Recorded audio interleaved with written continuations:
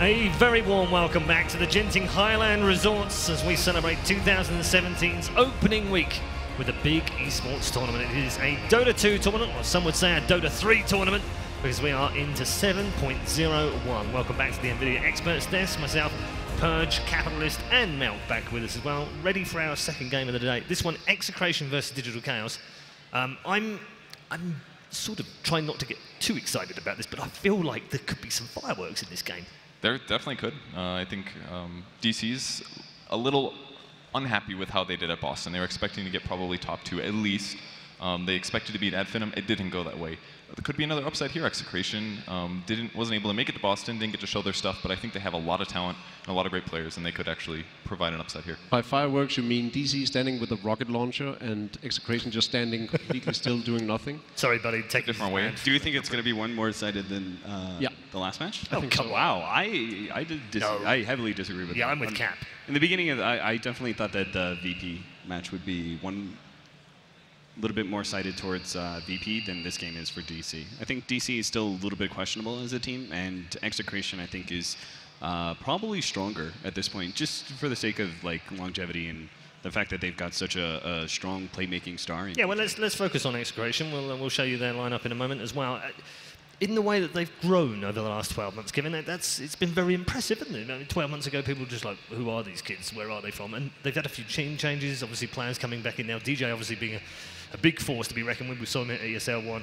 Uh, Manila last year, and of course, at Manila Major was just a standout star for them as well. So th- they've got some star power in this team. Yeah, they do. Um, and, and their other cores as well, very fantastic players. The part I'm really curious about, though, is, is DJ going to play the same in the offlane role? Because in, in all of those really big playmaking times, he was almost always playing four position, amazing roaming, made a lot of map pressure. Can he do the same from the offlane? I think he can, especially with the new patch, but I'm excited to see how the playstyle shifts. For You him. could still play Enigma. Huh? Offlane Enigma is actually a thing in this patch, so uh, we can still see him make big impact. I think with those big team fighting ults. Yeah. Any any other standouts for, for Execration? Do you feel, Cap? Um, I mean, I think you need to make sure that you keep. Um, I mean, I think versus almost all the Southeast Asian teams, you keep Meepo out of the pool. Um, I think. I don't know. I don't, I'm not sure Gabbi, how. Gabbi's been had, had had some fantastic performances. That famous clip where uh, Winter and OD were casting it, and he just dodged like a million projectiles with puck, sold his blink dagger, bought it again to dodge another. Like that guy's amazing as well. But I have, I have a lot of faith in their team. I think you need a, a, a very good playmaking mid um, in order to set the tempo for the game for Execration. So so why are you so Don't get me down wrong. on I think, Execration? I think Jacob? Execration is a great team. It's not that, but they're up against DC. This is a second place TI team, top four major team, and with some standout players on each and every single role on the team that are all at the highest possible level. That's, that is the sole reason for why I think DC is going to stomp, but I also think DC is going to go all the way to the grand final. So it's not surprising. It's just a better team. Okay, uh, let's talk about Digital Chaos right now. We mentioned at the top of the show, uh, obviously, having a player like Misery on your team helps enormously with the experience that he has and drafting that he's been doing as a captain as well in that team. Obviously, going to pay dividends, but I, I want to focus on one other player, which I think doesn't always get the, the limelight, and that's MoonMeander. As, as, yeah, we've mentioned that offlane is such an important role right now in this new patch. So presumably, this man is it's time to shine, isn't it? I think so. Um, I think one of his best features as a player is that he's amazing in lane at outplaying people. Um, his, his ability to just know when his opponents are out of position, when they don't realize it, is, is amazing. He gets solo kills fairly regularly, sometimes gets double kills against safe lanes. That's something that you can really value here, especially if, if the last game is going to be any sign of how the rest of the games in the tournament go. There's rotations all over the place, and Moon can, can abuse those kinds of things, those laney matchups, even if somebody's alone for just uh, two minutes or something with their supports off somewhere else, that, that could absolutely impact the game and force bad rotations from their opponents. Yeah, I think um, if you look at Digital Chaos, they they felt like um, MoonMeander was a better pickup for their team, and I think I would actually agree with that just because I think MoonMeander stands out as a, a more aggressive uh, offlaner that is able to create a lot of space for both their mid as well as their carry, and I think both those players are actually a little bit more farm oriented, so they need a playmaking offlaner um, for Digital Chaos, and MoonMeander I think has been doing excellently well. I think uh, all the way going back, I remember um, it was like the second season of MLG, the LAN we had there. Um, I remember thinking MoonMeander was probably one of the, the best nature prophets um, at that time. I thought like his aggressive playstyle with the, with that hero was so good, and I think that aggressive playstyle has has managed to you've managed to see the space that he creates with heroes like Slardar being able to always be that playmaker that is able to set the, the tempo for the game, which allows it puts a lot of pressure on him to be able to perform in the early game, and it takes a lot of pressure off both their mid and their carry. He's fun to follow regardless, because like in early 2016, he'd say, it doesn't matter if I TP down to my lane, die five times early on. That's just how offlane is being played right now. But because he's this a- a- aggressive player, sometimes he'll come out on top, and if he actually wins those uh, battles where he fights the support or fights the carry and wins, the game is already over. Like he can single-handedly win the game for your team, and he, he'll never lose it. One of the other players that we've, we've spoken a lot about actually throughout the last 12 months is w33ha, man that came from the ladder and everyone said, oh, great pub star, can he do it in a pro team? Not really sure. We said the same about Miracle, we said the same about Sumail, we said a, a number of players, Ana more recently as well. This guy seems to have delivered over the last 12 months. Uh, I mean, maybe not to the level that Miracle did in his first 12 months, but he's definitely produced the goods.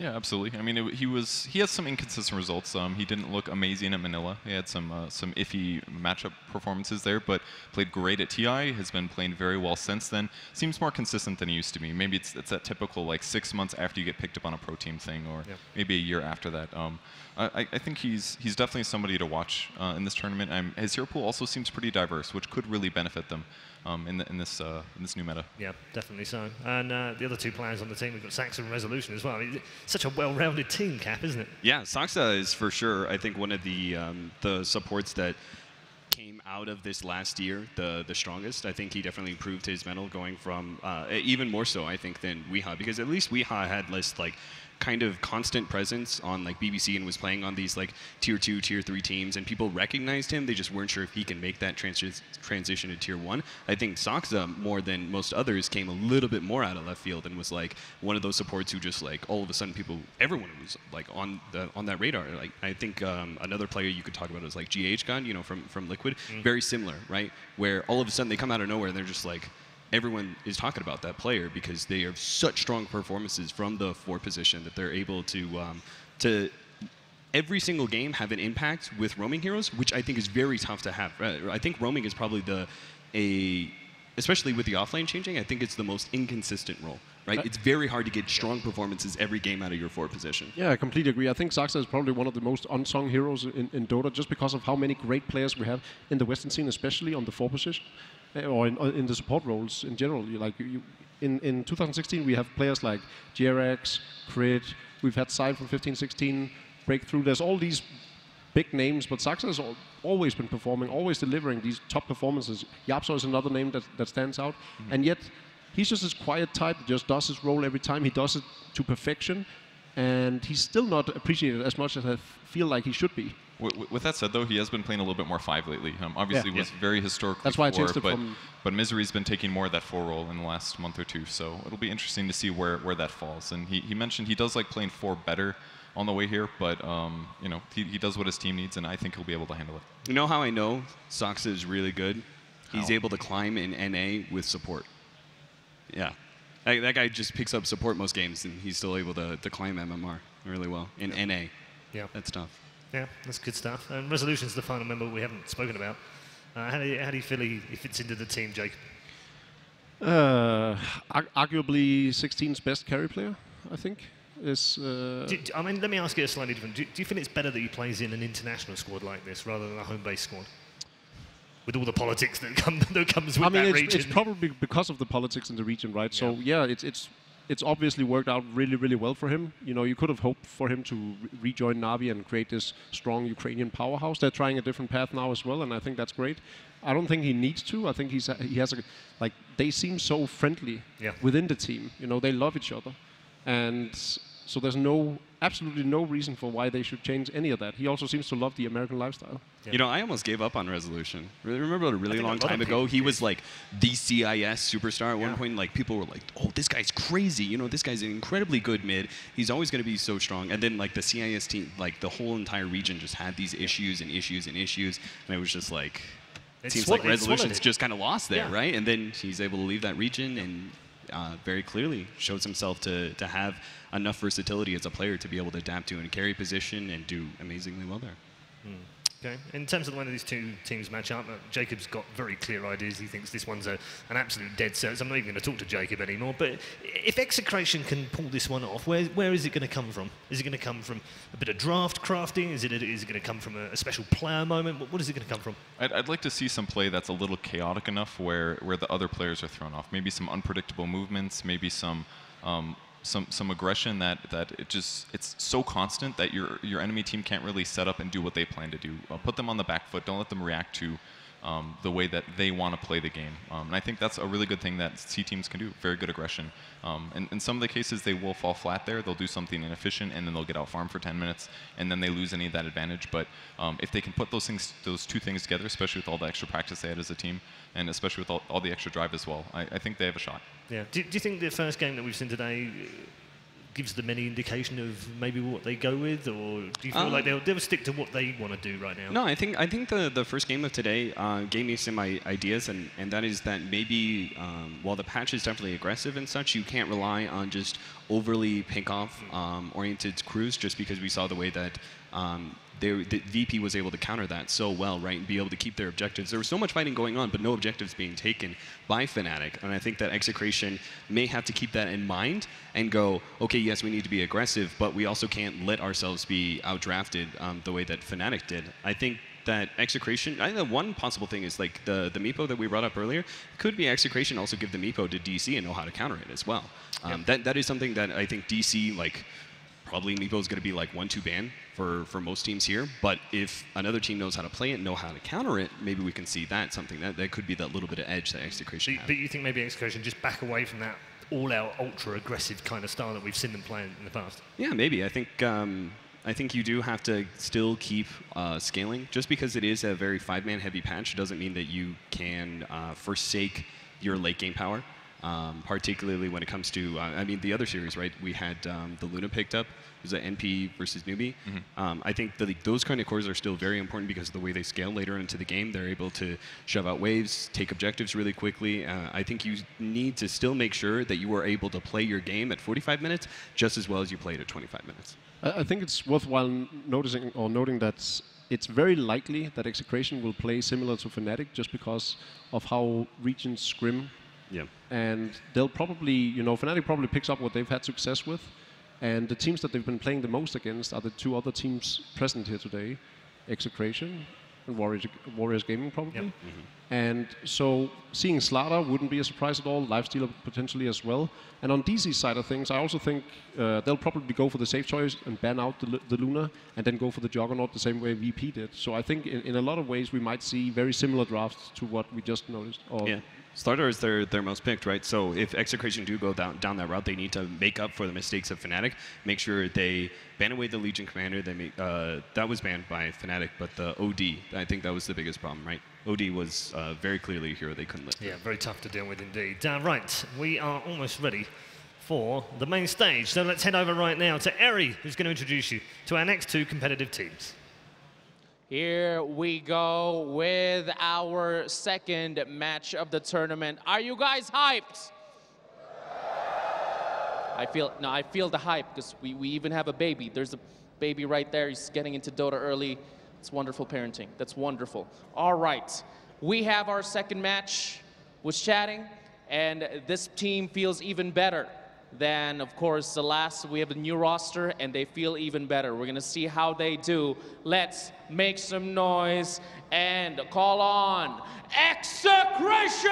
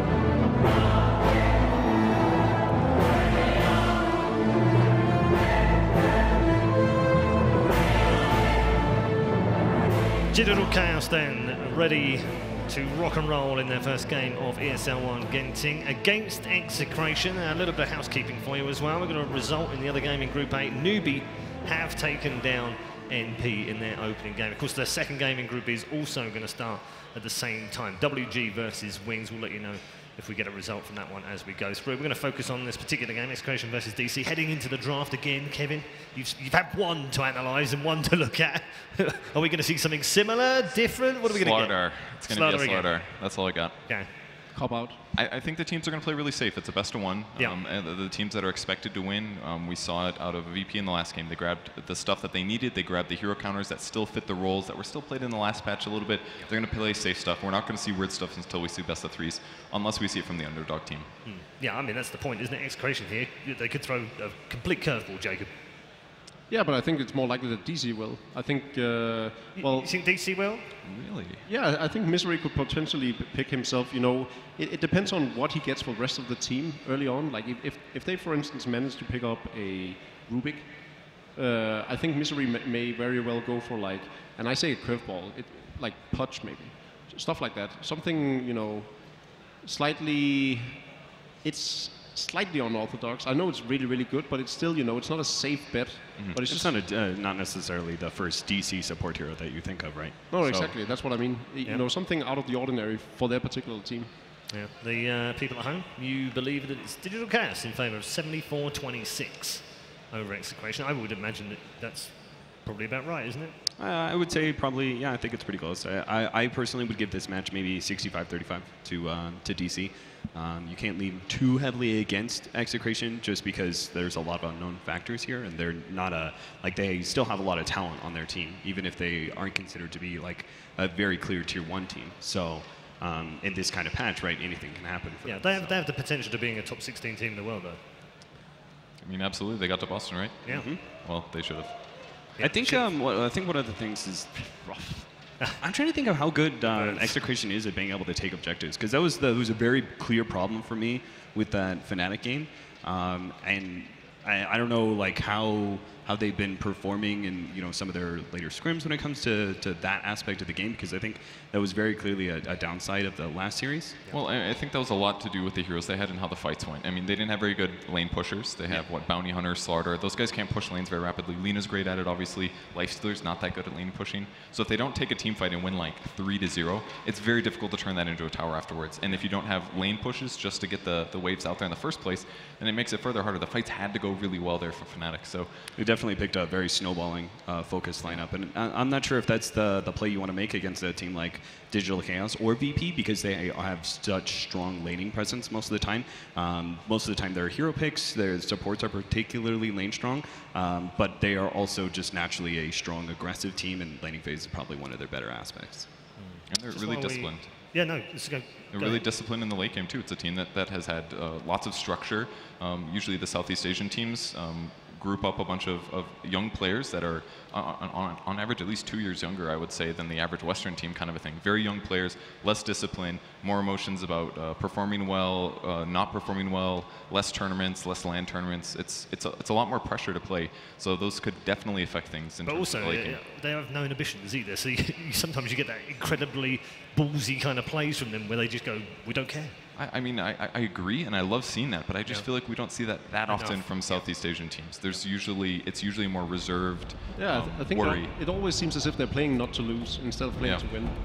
Yep. Okay. Uh, the other game going on. I just want to get your quick thoughts before we uh, head into the draft. But the draft is live, so I won't do that. We'll uh, talk about that one afterwards as we get into draft number two of the day.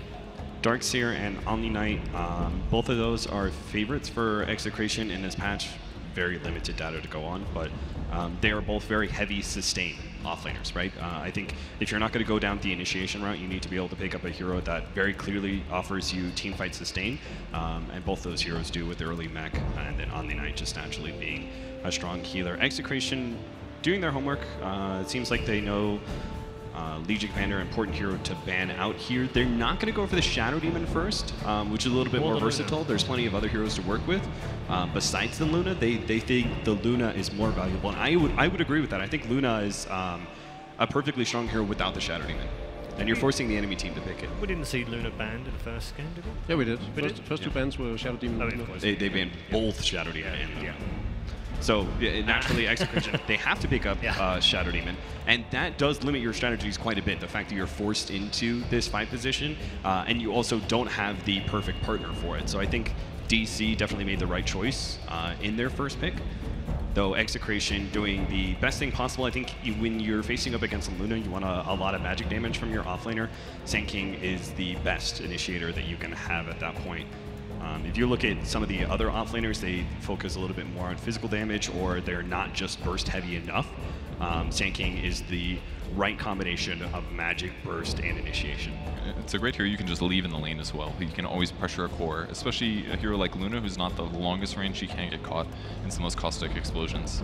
And here's the reason for why they didn't pick up the Shadow Demon rather than the Luna. It's because there was both Rubick and the Shadow Demon in the pool. They could play bo- They both of them to, you know, Yeah. same success. So there's no reason for them to do so. I think what's good for Execration right now is the fact that once Digital Chaos, Digital Chaos teams up, Execration can still push out the other lanes fast enough and then go down and defend because these two support-ish heroes can still push out lanes on their own pretty quickly. Execration could also uh, run the Sand King as a support. That is the one bit of versatility they have in this because they have a Shadow Demon, uh, who's one of those supports who can actually set up heroes like Sand King, Leshrac, um, those kind of uh, stuns that are not very powerful because of the- their lack of range or the, they just take so long to throw out there. Um, I think Shadow Demon's the perfect hero, so that is still something to keep in mind. And I think they will because it's so hard to actually pull off a off-lane Sand King at this level. You know, it's something that works in pubs, but once you get to this level of the game, he'll just never see any level. I think the, the hard part is that Rubick as a five position counters Sand King so well Yeah. that maybe you want to lower the farm priority or whatever you want to call it of Sand King uh, from a three to a four. I, I, I think it's a little bit less likely they run into support. I, I just think it's an option out there. And these bans are so all over the place from game to game. It's pretty interesting to watch. Uh, like, is the scrim stuff? Is, is Ursa picked here? Does Execration want to pick a tanky core weak to physical? We- We've seen we play a lot of Ursa, and it, it is pretty good against, well, the Sand King at least. He shrugs off the, the Shadow Demon, like stacks the the Purge. He's also able to, if he gets the Aghanim Scepter, deal with the Sand King really well because Sand King's going to lead with a stun, but then you just very quickly pop that ultimate and you're not going to be feeling a lot of that Epicenter damage. And on DC's side, I mean, Rana Band makes sense when there's a Shadow Demon Sand King pickup from Execration. Should be a really easy setup with that. It makes a lot of sense. Um, I kind of curious where, which other way they'll go. I mean, obviously DC's pretty. They have a lot of magic damage right now, and Execration has some counter to that kind of burst by having Shadow Demon. Um, perhaps they're worried about DC um, diversifying and going towards BKB counters. What's interesting is Slardar is still in the pool. That's true. My one prediction. That's all I had. Well, I think that's very Is it the likely. first pick prediction as well? Well, I was right last time. I mean, Just it- ride that. if you just look at the, the way that draft boiled down, right, I still think that like Slardar's very value, it just didn't find a place because DC chose to go for the Luna because it was still in the pool, right? In which case, Execration uh, felt Sand King was a better offlaner against Luna, and then Rubick is obviously the counter to, to Sand King. So it just kind of like those Is- puzzle is pieces though? all fit better without the offlane Slardar. against, Like, I just don't see how he's ever gonna get level. Hey, just dual lane or something. I mean, everybody's been rotating so often. I feel like you can get away with it. And worst case, you go to a medium camp near your secret shop, and you can jungle that easily if you get satyrs or something. Yeah, uh, Caustic Finales really value to be able to juggle those creeps back and forth. I'm right. needed. Yes. Nice. All right, so we are going to have Sand King support into Slardar. So Kevin and I were both right. Alex is gonna ride this for like years. Remember that time? I don't need to. Just like he, I have uh, like a long list of those. I think I think just like he wrote his early Dota career into years of analyzing, despite never actually being an expert. Expert? What? Uh, Cap was also right. Just like to point that out. I mean, I, I don't feel the need to point out that I'm right because I do it for you, buddy. then you, you just constantly hear that every other sentence. You That's know? true. adorable. Uh, I like the OD ban though because it, it gives um, Execration a lot of that uh, defensive support aspect that OD also provides. Um, and that should mean that when they initiate, if they initiate first, it should always give them the upper hand, especially with Slardar and Sand King, those two heroes, plus Shadow Beam on the backside. Like, I feel like they have a lot of great reactions. Wow, Tusk pick. Tusk is back. Okay, um, kind of a similar reactionary pick, you know? You snowball, pull Yeah. people in, it's basically AoE disruption, you counter Sand King Epicenter. What did I miss? Did you see Do, the do you know what? reactions? Um, do you know what uh, Saksa's name is in, in pubs? I do not. His uh, his his name is at least it's been for the longest time. Uh, Buff Tusk, please. Oh, Because you know that hero is just like he's such a fun hero and he's so fun to play from a forward position. You know, you just have like so much fun playing it. It feels like a playmaker. You can do a lot of things early, but, But it just got nerfed too though. hard to the ground. Isn't it misery playing it? And it could be. Probably. I mean, Saksa is amazing Rubick, so. Exactly. Um. So you've got like you still need a hard initiator. What are what is left for DC? You've got Bat Rider. You'd be picking it into a Weaver, which you know there's going to be a very obvious Linken's. they need like a run at you hero, something like a, a Centaur, I think would be good, just Yeah, because I they can keep their opponents from running away with Tusk. They also need something that can frontline for Luna if Luna gets jumped on. So I think something like that could work. Ooh. Hello. I mean, Execration had to know this was going to come up. Yeah, and we, we they- spoke about it before the game as well. For both teams, this could have been a potential pick. Could have been a potential ban as well. Was missed by both. Banned in the first game, not removed this time. DC pick it up. Do they do they have the solutions though? I mean, they've got a lot of physical damage, and they have amp damage, and Sand King Burrow Strike. I feel like they've got some pretty good solutions. Yeah, solutions. they've got AOE control and single target physical damage with Slardar and in with Weaver. Uh, Weaver and Slardar are going to have a hard time though. They're pretty mobile heroes that are going to be ensnared down by Meepo. Uh, that that hero is like five stuns to work off of. Talking about the ban options, change. why did they go for the for the Legion ban rather than the Meepo? That still seems iffy to me, considering you know it's we. I mean, they, they, if Execration wants to play Meepo all the time, they, they surely have some solutions towards Meepo. I, I say they let it through. If they ban it, then that's one of the tools that they could actually use every game. Um, I mean, What what they are the ban solutions phase. though from from the mid lane? Like what what Roaming, I guess, something like that would be good. Um, I mean, you have to gank him pre-3. Once he's 3, he's kind of doing whatever the heck he wants, and he's got a Feels fountain. like- so- Yeah, you can't give him space because he starts picking up those bounty runes. DC's roaming is already better as well, in my book at least, especially in the, in the first five minutes. I like your Centaur though, um, Kevin, because if they're going to pressure the Meepo, they need the Shadow Demon Sand King to rotate in there, in which case the Tusk Centaur, um, we saw this from Wings, right? They, they ran a Tusk Clockwork. Um, because of the combination, the Snowball able to close the distance for the Clockwork. Um, I think Centaur would work very similarly on top of the points you brought up before and the team fight and not letting Execration be able to escape. Um, but I, I think no matter what the offlaner is, right, they need, they are going to put a lot of pressure on that safe lane in order to free up Weeha's Meepo uh, to do what they want. They could also potentially aggro try. I mean, uh, we're thinking of three different heroes to for Moon Meander, right? Is the Centaur, there's the Beastmaster, and the Tidehunter. The reason I keep going back to the Tidehunter is just It's that- banned. though. Tide's banned. Yeah. Oh yeah. So not the Tidehunter. I'm not the biggest fan of Beast this game, I feel. Um, obviously, Roar's great, but they have decent solutions with Shadow Demon and Weaver, I feel, against it. And most of their heroes are actually a little hard to kill. Like you said, the roaming is better for DC, and I kind of agree, but Snowball against a Slardar or a Sand King or a Weaver, that's, that's going to take at least a Sentry, some gap close. They can react to it. Maybe they go something more defensive and farm heavy. You think Earth Spirit would have been the better pick instead of the Tusk, considering Um, Execration's heroes? I don't think so. I mean, if you're going aggressive, yes, but I think they definitely need something a little defensive because of the Sand King Slardar. Right.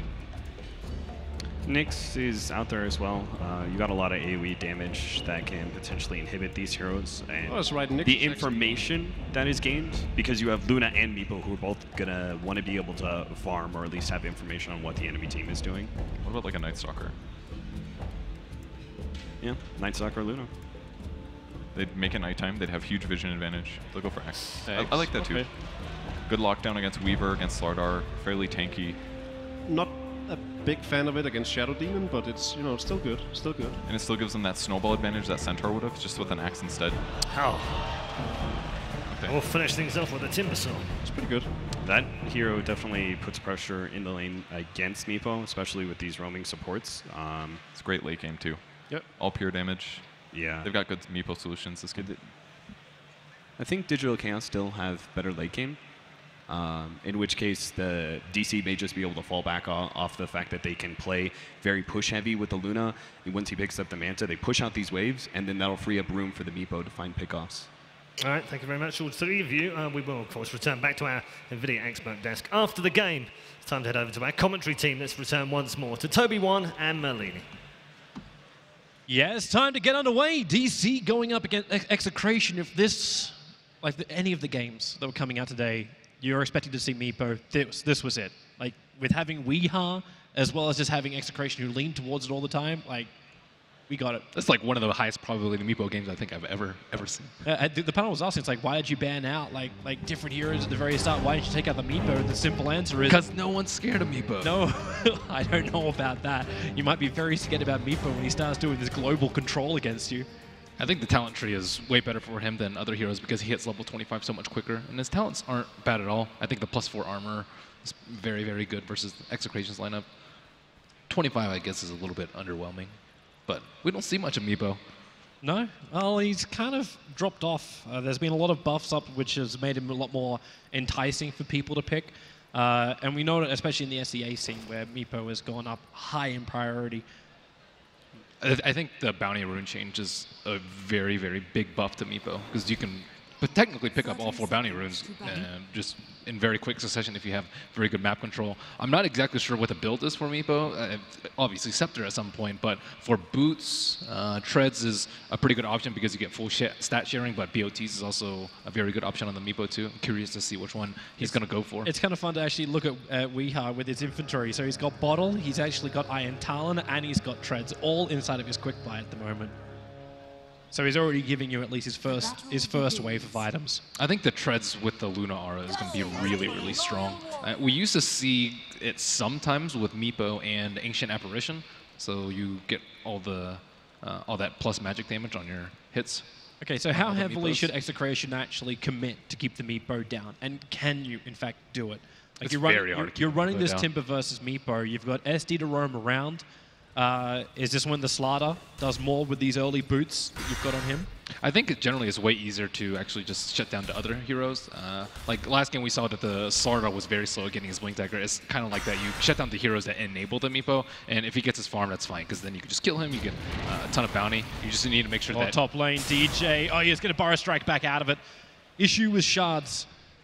Yep. And telekinesis. DJ still having that very stable escape mechanism for that offlane. He doesn't have an Iron Talon, nor does he have a Quelling Blade. He can stack at the one minute mark, but it's, it's going to be a tough offlane for him, especially with that Observer Ward eyeing his every movement. As long as he can survive, he's still going to have the shrine to work with, and then you can have the rotations in from the timber, uh, from the Slardar, just to change things up a little bit. How do we actually feel about the axe as well? So axe on the off lane up against an SD could find himself in a bit of a rough position very quickly. It's, I think, very good versus the Weaver because very physical based and very squishy as well, and very elusive. And the axe, I think, solves most of uh, that. He is very vulnerable to the timber Timbersaw and the Sand King, though. that- so that's the one big problem that I see. However, his laning phase, I think, is going to be fine because they don't have that strong of a support duo on the bottom lane. Shadow Demon Slardar, not that formidable. Well, top lane, DJ's in a little bit of trouble again. He's going to burrow strike himself away as we have resumed the game. He only got caught by a telekinesis and shard. Saksa for Misery trying to make his life a living hell, and they're already okay. Here we go.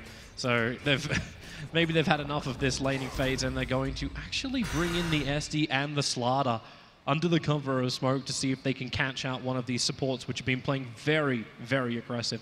And it's the perfect time. Snowball is not up for the Tusker. They don't have that much damage though. No caustic and this, they're all still level one. we go. You're fighting into a Luna at level one. Oh, you're starting up on Tusker. There goes your Burrow Strike. The Crush is available too. Saksa are losing a lot of life very quickly, and with the shards, he doesn't create enough space for himself. He'll drop down, actually almost blocking in Resolut1on. The Burrow Strike is on cooldown with a pickup from Misery just in the nick of time, pulling him away so Resolut1on gets back into the safety of his tier 1 tower.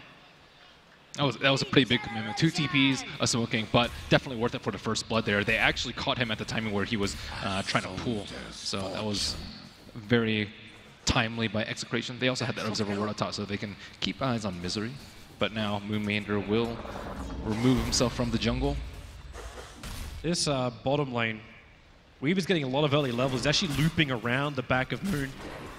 No TP support's going to come down to him, and Nando, you went two-point Shukuchi, like, just harassment, harassment, continuously trying to force Moon out of the lane. But Moon can now afford up almost his uh, Tranquils, and then he'll be fine. Yeah, he just needs a couple levels, and Wee's already starting off into the jungle at the three-minute mark. I usually don't see it th this early. Usually you see one Meepo in lane, especially around the stack timer, and then you'll just keep stacking up. But it looks like he just wanted to take out some of the medium camps in the meantime. It's very, very difficult to lane versus the Timbersaw. And with extra Meepos, you're just giving him extra reactive armor stacks. You actually concerned too that Timber has kill potential against against Oh, no, uh, no. we this early on I, until level six. Like, is that when you start thinking more about it? yeah, it's just, Wee's just trying to maximize his farm because Timbersaw's going to get his regardless. Oh, really Moon, stop he's going to be dead on bottom lane. The Geminate attack's able to chase him down.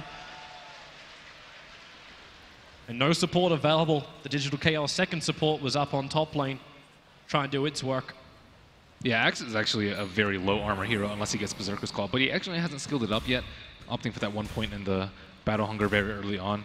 And when when his uh, Berserker's Call is down, the Weaver's going to do a lot of damage, especially with the Blightstone picked up very early on. And DJ is actually able to pressure the Luna up a lot. You want your Sand King to be able to, able to be in this position where he can actually come up to the quick wave, last hit, and threaten the Luna a little bit with like Caustic plus uh, Burrow Strike Harass. Even the SD with his build up, like no points up in catcher. I'm wondering if this is more of a of a lane kind of presence by having that as opposed to having the catcher, which is more of you like you straight up one hero kill potential. Yeah, it might be pretty good versus the Meepo too in the later game, throwing out all those uh, Shadow Poison stacks. It's, it's pretty uncommon nowadays for the Shadow Poison build, but they do have a lot of AoE on their lineup with the Timbersaw and the Sand King, so maybe just with that overwhelming amount of AoE, they can uh, kill the Meepo. Moon's making his way down. Thanks to the Observer Ward that's sitting in the lane, uh, Execration should be very well aware that he's just farming up the close camp and actually scan back onto the tier one tower on bottom lane. So Execration Look at that. wondering if something's happening, but now Moon is so low. Nando's going to rotate up. He hits him with Shukuchi, gets the bugs off, and Moon is very quickly dead. You can answer yourself the question, was it worth it for the camp? Maybe. he has 640 games on Meepo. That's a, that's a lot. Uh, Shards, nicely done. DJ, he used the uh, initiation of the Burrow Strike. Now snowball forward. DJ, fade bolt from Misery he comes back out of the disruption. Able to find that kill, but Gabbi starts his rotation over to Saksa, moving away. He can't actually escape from this one. One last hit from Gabbi will do the job. So it's a one for one trade off. Execration did have to rotate their timber, however. It still bought him enough time to buy items too, so it wasn't all in vain for him. Resolut1on backed off very, very quickly, valuing his own life over the life of the Sand King. Actually works out very well in the end. Like you take out the stack, DJ gets space in the mid, Slardar got a little bit of space as well. Ah. Execration. Again, this is one of these these times, like we're, we're discussing it at the end of the last game, and so was the panel. It's like, okay, so who do you actually feel is the favorites? You look and say, well, the polls go the way of DC, the polls went the way before. It's like, okay, Fnatic's probably not going to have a great time, but Fnatic had a, it wasn't a great start, but it wasn't a horrific start the start of, of uh, their game. But now Execration, like, they got two out of the top three net worths on their side. The Meepo is actually behind that of the Weaver. It looks like they're off to a good start. Yeah, it all comes down to whether or not they can kill the Meepo in in, in the mid or later game. They don't have any defensive support from Tusk. I, it's kind of a half a defensive support because he generally doesn't have the mobility nor the range to actually pull in uh, the Meepos to save him, and sometimes you'll die after uh, because of the, the Timbersaw AoE. So if, if they can kill him a couple of times, I think they'll be in a pretty good spot, but they're, they're still going to have to address him. He's power farming at this point. Misery just misses a courier snipe. If he was like maybe a second later, he would have found that courier, which is bringing the Yoga Club down to Nando. And they're ganking up on top lane. Uh, too far away, Resolut1on and Saksa. Able to make that distance between the execration aggression. And they knew this was coming. There's a good observer ward that's looking over the tier 1 tower on the top lane. I like the decision for them to move the Timbersaw around because there was no one in the mid lane, so they can have any hero free farm there. Like Timbersaw is very, very strong at this point in the game. Level four reactive armor, like no one can really kill him. Maybe with Eclipse and level four Lucent Beam, or if he's in like a really bad spot, they can kill him. And But you still got to do that against raindrops as well as high one charges. yeah, so so they're in the spot where like this timber is just all up Sucks. business. Is he actually going to go in? Disruption's out. He's going to get just a little bit of chakram damage up. Timber chain. Oh, and the stun is there. Gabbi now will put it to the test. Can they find the kill? The net's going to miss from w33ha. Gabbi with the chakram down again, but it's going to be enough damage with the poofs out from Wee. He finds the kill. And Gabbi is forced off the top lane, but they bring almost everyone down for that. Meanwhile, Moon on the bottom lane. Is there another Geminate? Nando already used his time lapse, so he's not going to push the issue any harder against the Axe.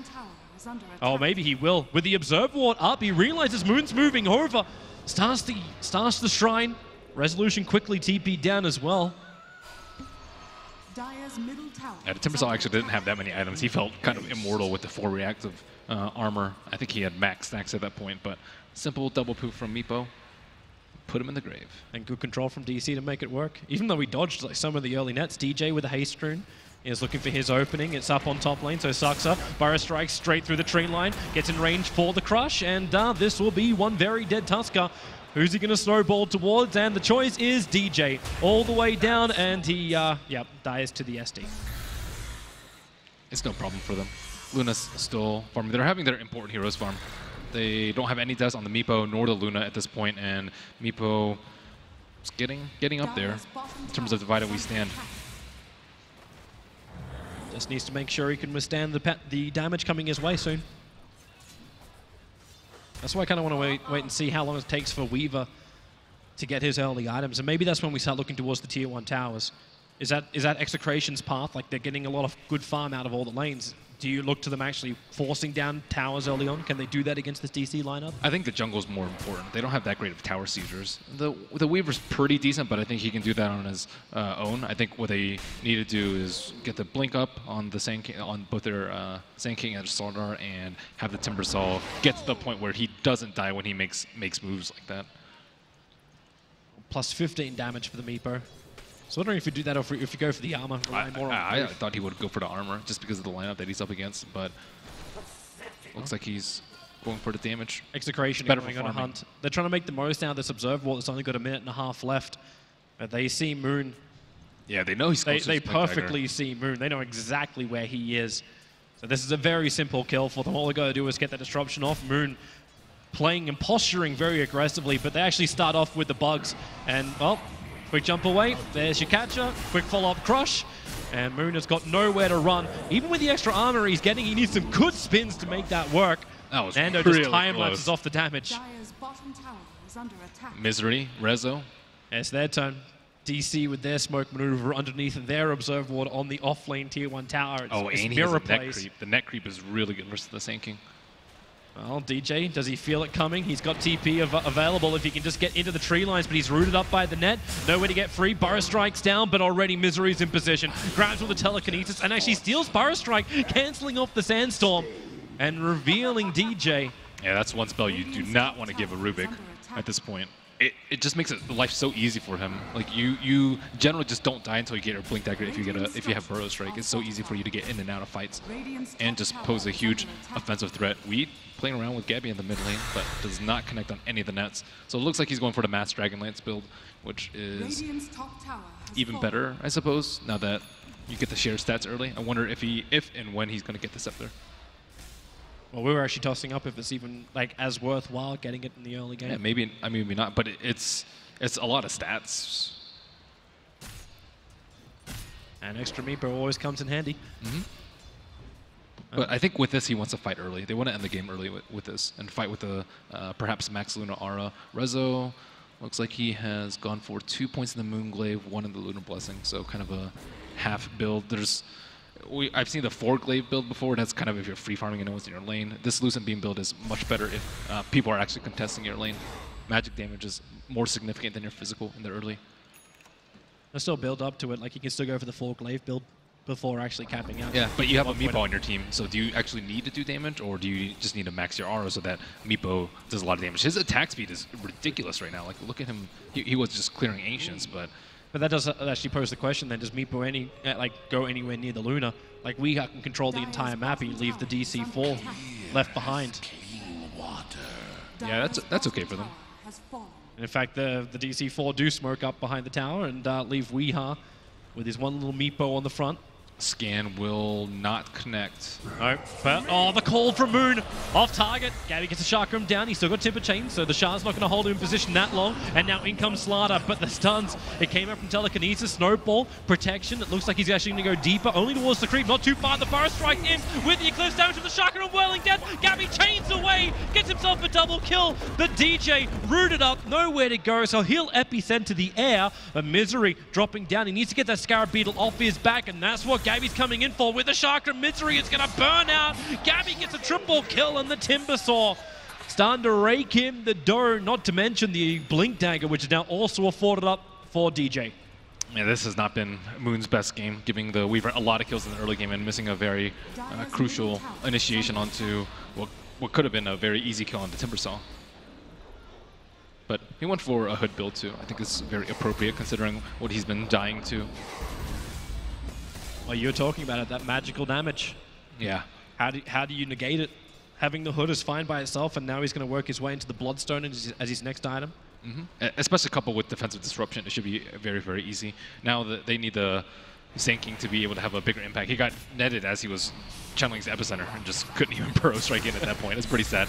Oh, Tusk. Oh, here they go again. Saksa able to actually hide himself inside the snowball with the one charges. He's still perched up, so he'll go for a quick punch, but knows his life is over. Maybe Meepo. No, he can't. He just throws out the net, but there's nothing more to come from this. And now you've got the top tower going down. Big one Fernando. He is rapidly approaching this Linken's Sphere of his. And combining that with the Dragonlance, okay, Gabbi's getting just perma-stunned on bottom. Eventually it had to end. That dominated creep down. Moon's in the neighborhood.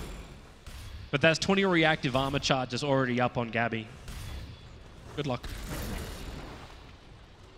I'm wondering when they're going to do Roshan too. I think both teams have like very, very good Roshan lineups with the Amp and the Weaver Bug on the Radiant side, and then Meepo is very, very good. They don't have any lifesteal yet, no Vlads. I'm not sure if they're going to build it, but they could also take that down very quickly. It looks like DC, they're poised to break the smoke if they go up the hill. Misery in a perfect position to do so. What a great time. Had that Blink Dagger over on w33ha. He's going to prepare himself. Misery's dropping down low. DJ killing him off with a Sandstorm, so Misery will fall. And now w33ha wrapping around DJ. Epicenter will start. It will channel out, but w33ha's got more than enough stats. He can tank through that while down the river. Moon's still being picked off, so a two for one, and in comes Gabbi. w33ha poofing his Meepo back to the tier two tower and way to safety. Wow, what a stun from DJ. He's, he, he knew a smoke pop, but he didn't kind of question where they are. It's like he, he knew as soon as the smoke pop up the hill, he, they were just waiting, and he knew that DC was actually waiting for the smoke. It's kind of a next level burrow strike from him. Oh, goodbye, Courier Snipe. Punched into oblivion. Another great spell for the Rubick, Shukuchi. That's a great Rubick game. More repositioning abilities for a Rubick. It's uh, it's the dream game for him. Maybe not so much once uh, Timber and Weaver start building up on their items. So the Linken's Sphere, it's now only 40 gold away from Nando.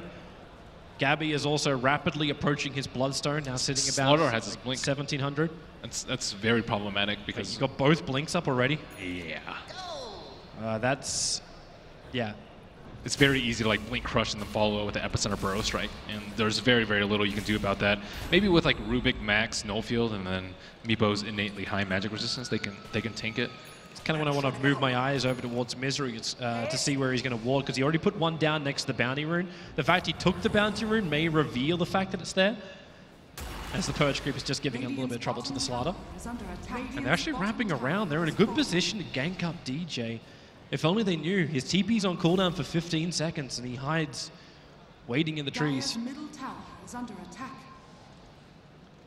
Well, Moon's going to be very happy at least going against that Weaver, knowing he can get the call off. I wonder what DJ's DJ's waiting for. He can't solo kill Meepo. Meepo will actually kill him if he tries. Looks like they're trying to make that mid push, but DC's all hanging around that area. Moon in the trees just waiting for a counter initiation, and Meepo just farming, trying to get the most out of the map, while Execration is biding their time. Okay, Gabbi, that was coming up a while, a, a fair way. Misery's going to just pick him up and throw him around. As, uh, well, DJ's actually going to drop down on bottom lane, so w33ha with that solo kill. Now they jump in towards the mid with that call. Moon able to hold in the Slardar. They snowball up too, gives the extra punch into a kill. Gabbi not doing enough damage, neither is Nando to really dissuade DC from this fight. So they keep the catcher going, they keep the poison up, so Resolut1on having a little bit of issues where Resolut1on actually becomes DC's worst enemy. Being copied up, Misery's almost going down just the Glaives. He drops down to 36 HP. And with the bugs over on w33ha as well as Dire's now back up to where the T1 is tower used to stand, and Execration will not push the issue, being down to three men. Meepo is out of control. He's been kind of quiet this game, but he's almost level 18. This is 18 minutes into the game, which is kind of absurd considering everyone else's uh, levels right now. So he's gonna have his scepter, see it in his quick buy up next, and he can solo kill probably anyone aside from the Timbersaw at this point. Is that when Execration just have to group up as five and say, well, if you want to fight us, then. Like, Well- they, they just move around and, and go as a gang team. They've got the Blink Daggers to do it. I think they have they have to start killing people. Meepo's DJ, DJ needs to run right now. Misery under the cover of Shukuchi actually doesn't get the pickup. Meepo is a little bit too far away with its core Meepo. Meepo's going to start taking control of the entire map. He can kind of farm wherever he wants. I don't think they have enough lockdown to kill him before he poofs away. Uh, so yeah, I think they either need to start addressing him or get kills on the other heroes. And that push in the mid lane, they did end up getting the tower, but they did suffer in terms of a couple of casualties. So I don't really like how this mid game is shaping up for Execration at all. They are ahead in kills, but Meepo is very large. Yeah. Very, very large. He's 18. We're going to get a better question, like answer for that one later on, like when we see the Timbersaw, just how much how much work he does against him. When you have Weaver getting a proper damage dealing item, and not just the Desolator looking for something more. But this is when DC can maybe make their own play. So they group up, they move through the Radiant jungle, they won't find anybody. And again, it's a very basic. Put that observer ward down in between the towers, realize what's going to go on, get vision to get the fight. This area is very hard for them to gank unless they come downhill. They're actually in vision right now. There's three, three, heroes with a double taunt. It is going to be the axe. He actually gets the initiation this time. Moon does the work. Defensive disruption. In comes Gabbi. Chakram is down. He's going to actually go through with the epicenter. Eclipse will turn on for Resolut1on. Gabbi is burning. They take way too much damage. Execration. DJ won't be able to escape from this one. One last lucent beam will do the work.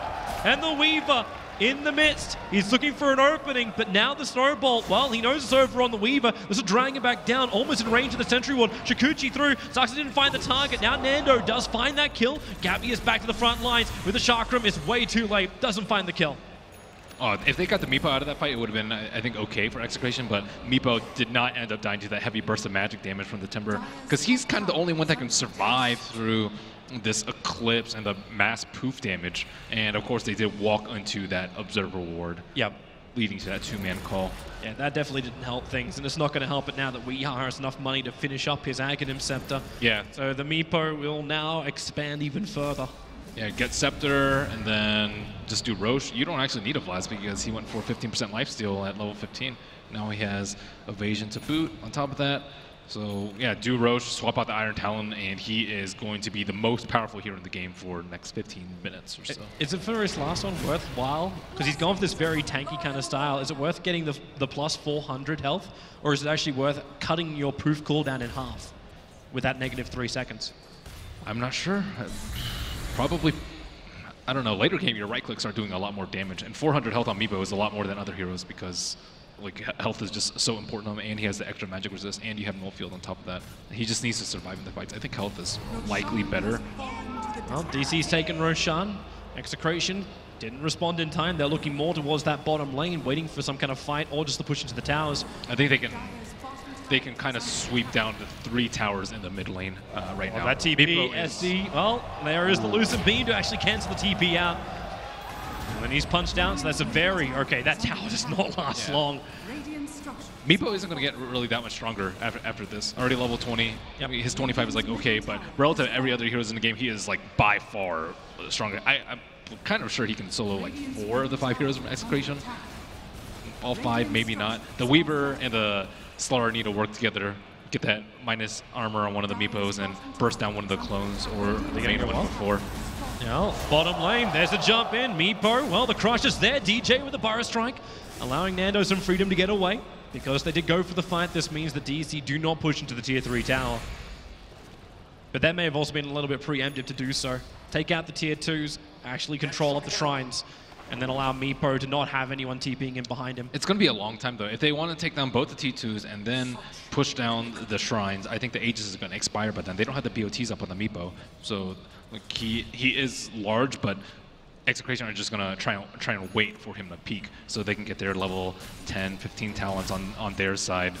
And So you're looking to see Execration actually keep the split push going, and yeah, they just need to avoid fighting the Meepo right now. Uh, You can't kill him twice, not with his team around him. And I think that's just kind of what they're avoiding at all costs is just a mass apocalypse near their base where they just sweep the base with Luna and Meepo afterwards. They need to prevent that from happening. instead fight inside the base and use your buybacks. Potentially even like the kill on the Meepo is going to be worth so much if they can get it. Yeah, they, they really need to kill him, but well, it's not, not a possibility right now. They'll let the tier 2 tower on the bottom lane go. Just the Beetles, to the Swarm to slow down Wii.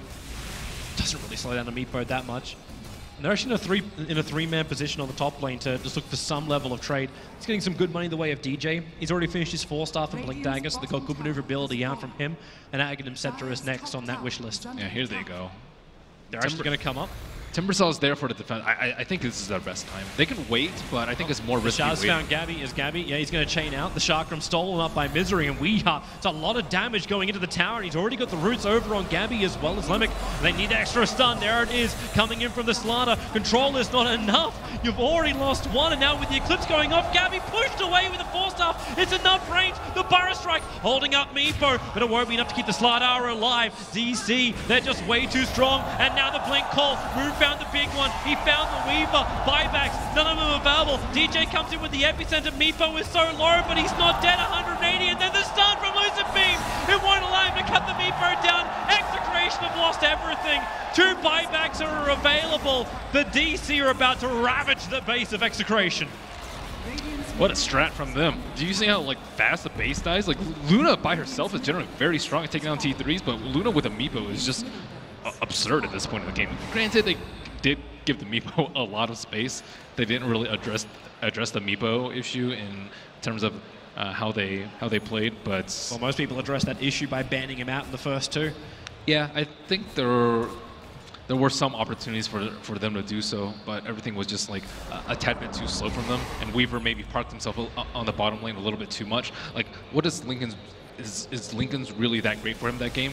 Like, Meepo is going to farm like 12,000 gold while you farm your four or 5,000 for your Linkens. You want to bring back some of the older combat builds like BKB and Desolator and get him on the front lines quickly. Or, or, or I think they, they took way too long to invade that top lane. If they take down the top lane, they can limit Meepo's farm, and then he can't like do what he did to stall that T1 push. I think a lot of it came down to what happened in, in the top lane, and it's it, he's kind of like uh, I guess Oh, Weeha.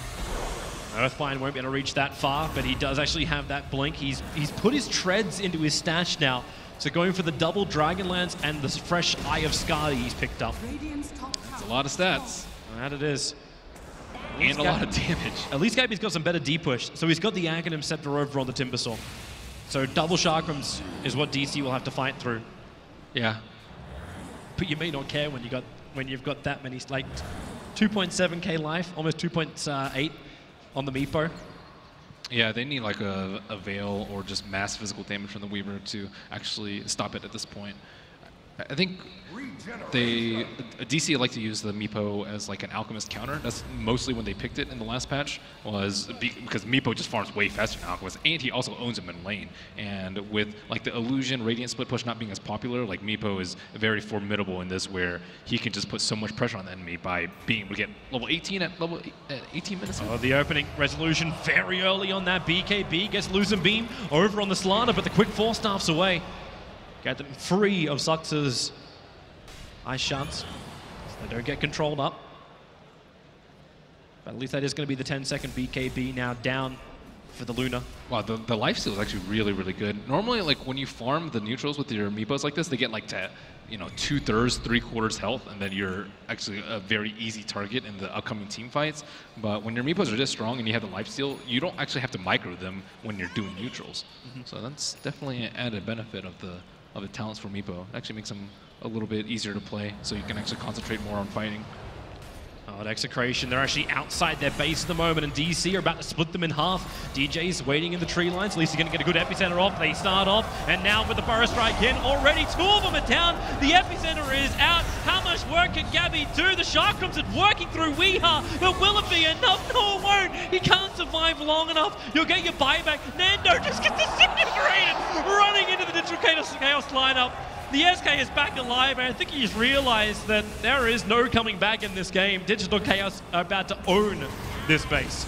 I like the way they itemize. They have the Crimson Guard, they have the Blast, they have the drums. There's just so much support around the around the Meepo that this definitely seems like a premeditated strategy. Radiant's top barracks. It seems easy enough to do, right? Like if you get through the second phase and the Meepo is there and you're not feeling really countered by it, Yeah, e- easy pickup. it's not as risky anymore, it seems. And then Meepo finally gets the BTs up. I was supposed to allow him to go home for a second, but DC, they're not leaving. I like it because it. A lot of the times you're fooled by the Luna, thinking that that's going to be the heavy damage dealing core, but mm-hmm. kind of they, they swapped it up with the Meepo. And Luna's she's not a support, but she's she's not the main damage dealer. I'd be very surprised if she did more damage than the Meepo this game. Uh, Weaver's looking for anything he can get. Misery might be the one, but he couldn't actually get it. The post in. Now you Burrow Strike. That'll be nice, but nice is not good enough. DJ's gone, and GG, well played. Digital Chaos execute perfectly. Gabbi at least picks up some extra consolation prizes, but it's like a box of chocolates for competing. Digital Chaos, they will advance themselves forward into the winners match. What an outstanding performance from We that game. You know, they didn't actually have to play that well. Like Moon didn't do terribly great in the offlane. The supports, you know, died a Yep. lot of times, but it didn't really matter because their strategy was just so sound. Yeah, I actually wonder like if Execration could have done anything better. If you look towards that draft, if you look towards like it wasn't even the global control that came out from the Meepo. It just seemed to be that Execration just were not. They didn't have enough strength to fight DC the first time they tried to do it. The Timbersaw got caught out. The Rubick again with that instant control, holding him under the tier one tower. So he got his Bloodstone, then instantly went down to eight charges. There was just no momentum coming in from the Timber or the Weaver. He had to do too much. It was a, it was a tough last pick for them. Yep.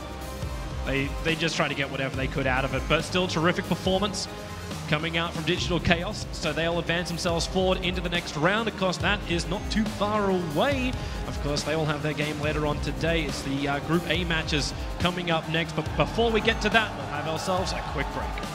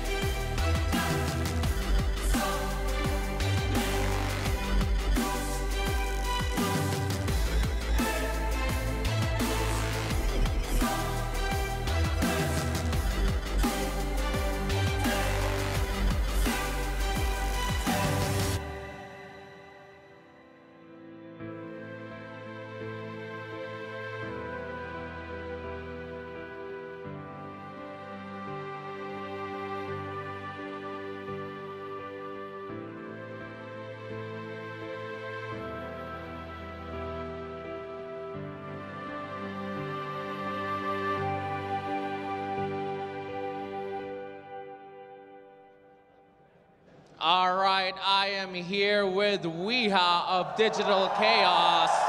Make some noise, come on. They enjoyed that. And of course, we have the latest in technology over here. Um, of course, as a tribute, uh, w33ha, look at this. This is look look at this beautiful, look at this beautiful thing going on. Loving the Meepo, beautiful, very nice. Okay, uh, w33ha, you guys were down. Um, uh, you're down. You, you had a quick deficit. Uh, uh, Execration had quite a lead in the beginning. Did, did you guys? Were you guys worried? Did you think that? Were, you- were, you- did you think that you know maybe okay, this is not looking good for us at any point during that? My team was a little bit worried, but they, they have faith in me. I was I was not worried. I was basically just playing my own game, and it's a Meepo, so you never know what can happen. Yes, that's that's fantastic. This guy has faith in you, by the way. It's amazing. Uh, really quick, how awesome is Meepo um, in this patch? How is he playing for you guys? Everyone's saying he's awesome. And how do you feel about Meepo with this patch? I don't think he's that good. Just you don't have to ban him. It's just fine. Yeah. he's just he's just fine. Follow up, very important question. At what point during the game did you feel that your teammates didn't matter anymore? I, I, I don't want to answer that. well, anyway, congratulations, and of course, Meepo over here. This is actually the latest thing. You can tell him to do anything; he'll do something. Do the poof. Beautiful technology. Th- Look at the amazing, very nice. Ladies and gentlemen, this is We Are Digital Chaos. Congratulations on the win. Thank you very much, Meepo, doing great. Thank you guys. Thank you very much, Ari. Yes, and uh, congratulations for the uh, augmented reality of Meepo on the stage there. Very good. Um, uh, brilliant performance, Kevin, in the end from DC, but it, it wasn't quite as straightforward in the early game. Execration gave them Uh. a good run for their money. I, I would say it was, if anything, a big disappointment from, from DC in the beginning. They, they just they got killed so many times. The, the game was definitely looking very good for Execration. It just got to the point where um, it was Meepo out of control. The, the stat value that he got for every Dragon Lance, for the Ags, the fact that he's got really high magic resistance base. He survived that one team fight and then everything changed. Yeah, I think Execration definitely showed us certain signs of them being able to play out the game, but I think Meepo just proved to be. And we, there's a reason we talked about it before the game even started, right? We know that DC have probably one of the best Meepo players in the world, and Execration they very clearly left it out. And I thought maybe they had a counter to it. I mean, they they would have experienced a lot of Meepo being in Southeast Asia, but it just wasn't. Uh, it, the game plan just didn't seem good enough. I think in part, uh, I, I was not a big fan of the the Weaver's item build.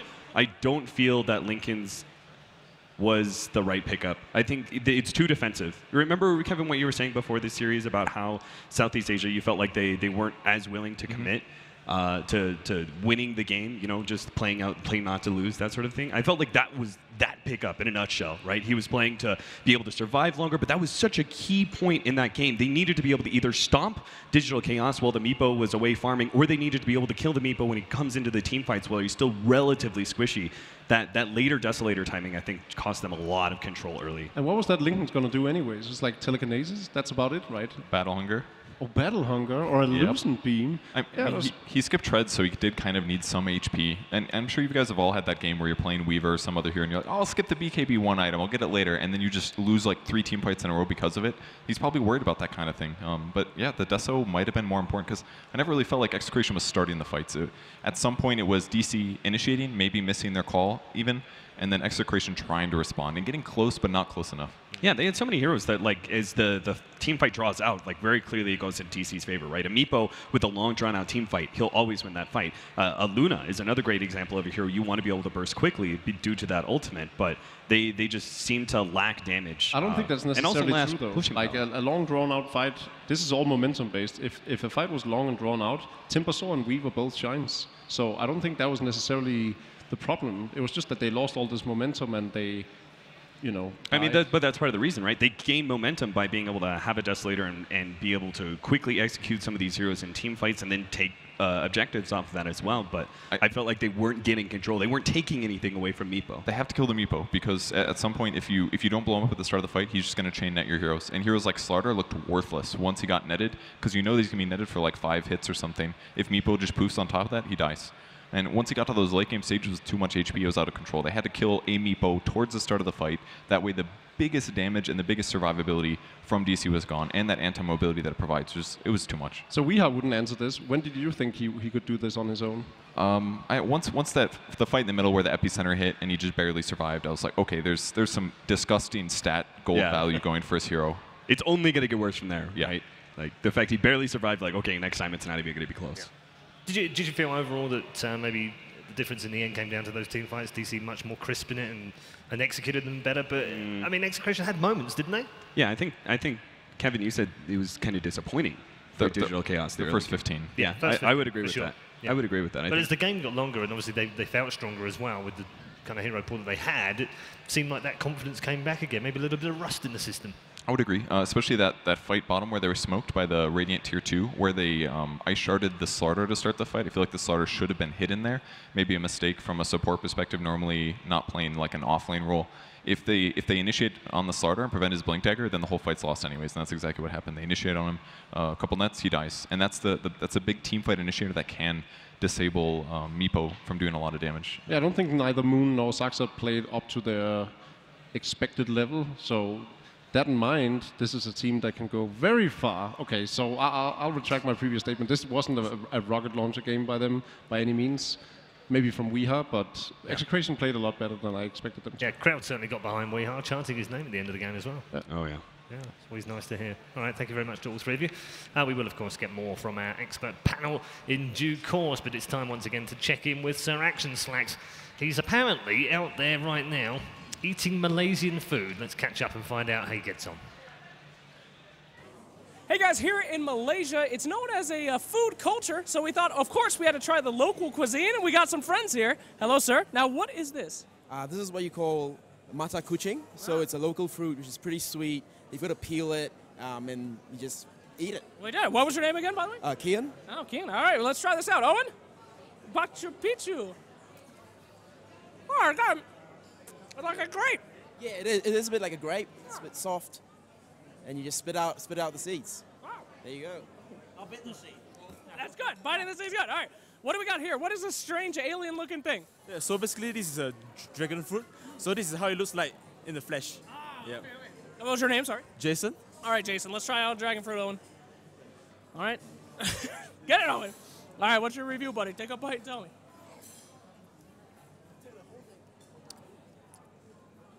Tastes like watermelon. It is a very watermelon here. And what do we have over here? What's your name? I'm Fendi. Yep, and we got a duck. That's a duck. That's a duck. All right. Well, that's good. All right. Owen. There we go. Give it a kiss. Oh. How is it? Looks like a decent bird. It tastes like a duck. you don't want to bite on that side. Go for the belly. I'm good. Yeah, I am. There you go.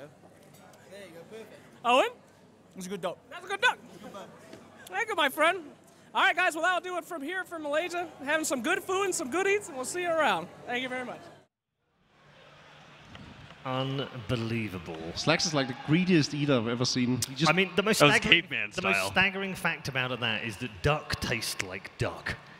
Well done, Slav. Who would have thought? Thanks for that wonderful, uh, what, do we call that? Culinary delights uh, from our very own Sir Action Slacks. Of course, he'll be bringing you plenty more content throughout the day. Uh, we are going to take a break very shortly. Just a quick chance for you, of course, to uh, talk about our sponsors here, one of which is Lenovo, personal favourite of mine. Got tablet, got laptop. Good job, Lenovo. Also, the Y710 right now, the Cube, which has the 1070 GTX in it, is available right now here for all of you who are in the Arena of Stars. You can go to the Lenovo uh, area right now and claim, tell them Redeye sent you, and they'll give you 400 RM off right now. So head over there as soon as you can. We are headed to a break right now, but when we come back, the serious stuff begins because it is winners bracket final time in Group A. We'll see you after the break.